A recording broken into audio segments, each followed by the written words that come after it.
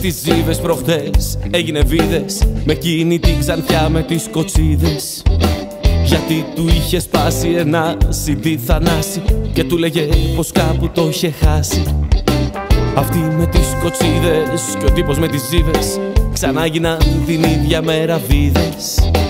Αυτή ήθελε σκά, αυτός ήθελε μάλαμα Και φάγανε ακόμη ένα σκάλωμα.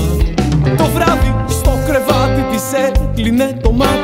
Κι αυτή του απαντούσε Θέλεις κάτι; Αρχίζαν τα χαδάκια, βρωμούσαν τα σταράκια Κι ανάβαν στο ταβάνι αστεράκια.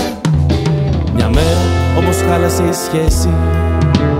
Όταν μπήκε ο στρατός στη μέση Του τύπου τότε κόψανε τις τζίβες. Και εκείνη βρήκε κάποιον μεριτιδές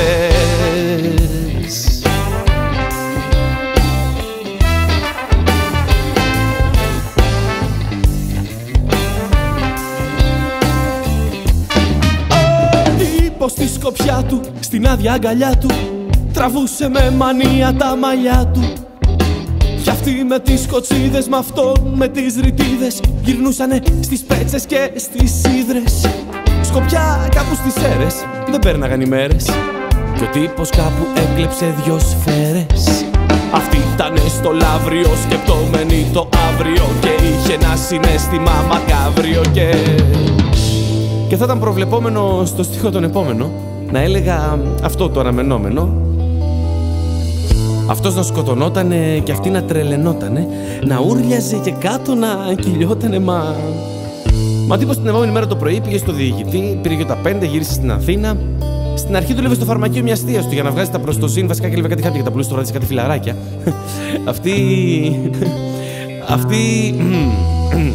Αυτή είχε ένα θείο στη Νέα Δημοκρατία, δεν ήταν κυβέρνηση, αλλά ήταν στα μέσα και στα έξω. Και την έβαλε, και την έβαλε στο δημόσιο, νομίζω, σε κάποιο υπουργείο.